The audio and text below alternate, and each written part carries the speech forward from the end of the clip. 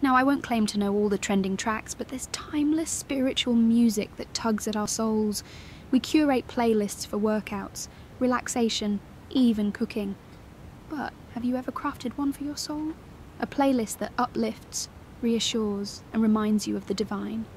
I challenge you to create such a playlist this week. And hey, slide in a modern tune that makes your heart sing with joy. Remember, God loves all joyful noises.